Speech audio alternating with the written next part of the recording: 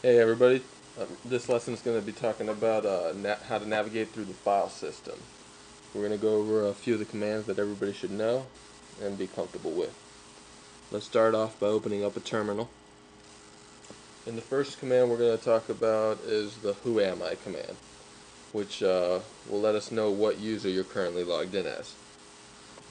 So let's just go ahead and type who am I, enter, and you'll see that we're currently logged in as root.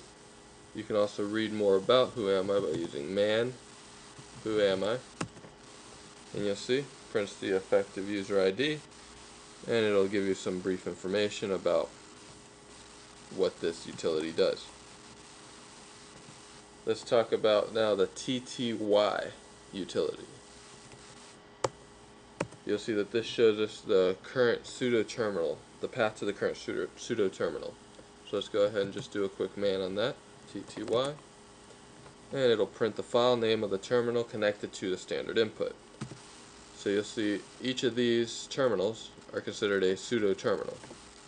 So if let's say we want to file open a new tab and we do TTY, you'll see that now it's dev PTS2 instead of PTS1 like we had before.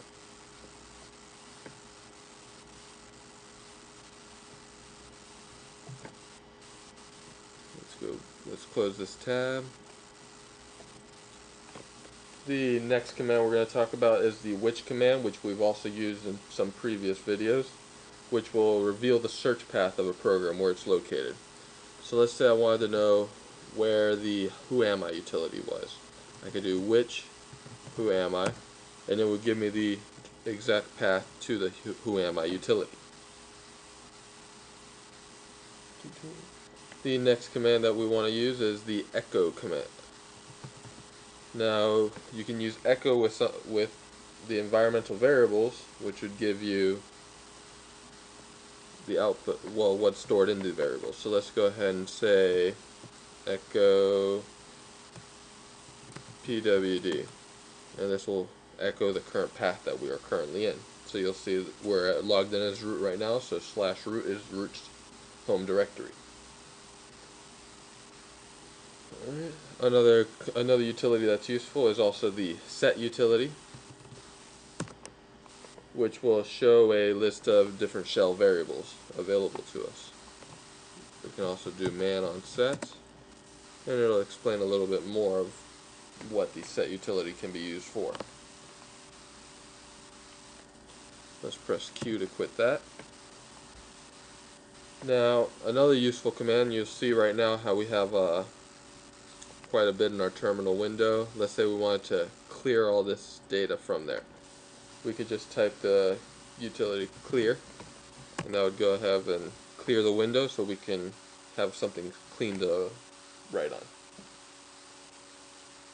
Some, another utility similar to clear is reset, which will actually reset the screen buffer. You'll see that right now since we use clear we can still scroll up and see what we did before.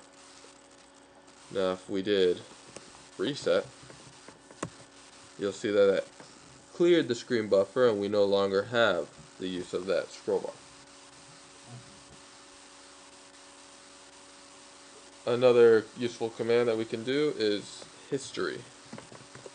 Now this will display a list of the different commands that you've run uh, prior to the history command. So you'll see the last command that we ran was history, then reset, clear, and so on. Now, let's say, actually let's open up history again, and let's say we wanted to rerun the man set. So line 86. So what I would do is bang 86. And you'll see that it reruns man, well, line 86, which was man set. Let's press Q. Um, let's go ahead and talk now more about the PWD utility. You'll notice that earlier we did echo and we printed out the variable and it would give us the path that we're currently in. But we could also just type PWD, which would also output the exact same path. So PWD is known as the present working directory or it also prints the working directory. So another useful command to change directories is the cd utility. Uh, let's say cd would just take us to the uh, our home directory. So let's go cd space forward slash would take us to the root of the system. Just typing cd would take us back to our home directory. Uh, we could also, to get back to the home directory, we could also just do cd space the tilde, enter, and that would also take us to the home directory. Notice cd tilde, and you'll be able to tell by the tilde here that you are in the current home directory for this user. So let's just go back to the root and type pwd, that way you can see you're now in the root of the system. We can also go to the uh, let's say we wanted to go to the roots desktop. We could do cd space tilde for the home directory forward slash desktop. And we are now oh, we are now on the roots desktop. And let's say we wanted to go back one folder. Well, let's just show you here. Root desktop. Let's say we wanted to go to the back to the root folder out of desktop, the previous folder we could just do cd space dot dot and that'll take us out to the root folder. We could also go back two folders. Let's go back into the desktop for a root and let's go back two folders all the way to the root of the system. We could just do cd dot dot forward slash dot dot and this would take us all the way to the root of the system. So let's talk now about the ls utility which this will list the files and directories. So just typing ls, you'll see a list of directories. If we do ls space forward slash, that will list to the root. So let's go to the user's home directory. Boom. And now let's type ls. You'll see these are the available files and folders within the root home directory. If I do ls space forward slash, it would give me a list of the folders and files within the root of the system. Now if I were to type ls using the L flag, so dash L, you would see that it would list uh, list the contents of a directory, the current directory that I'm in, in long format. So it would go ahead and give me the permissions, the user, the group owner, the file size, date and time, and the folder, or file in this case here.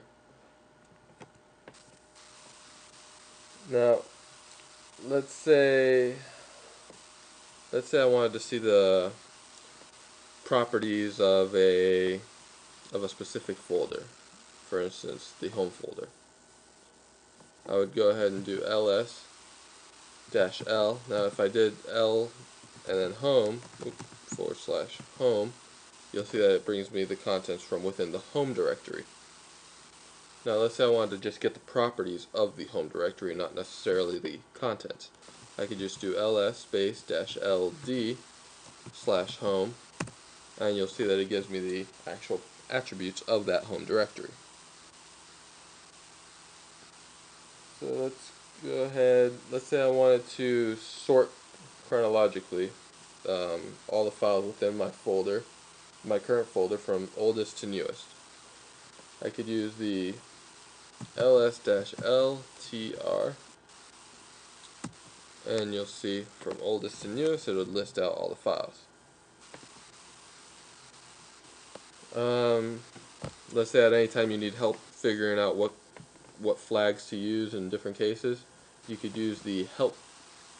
So we can just do ls space dash dash help and it, it would give you a list of different flags that you can use along with a short description of what each one does.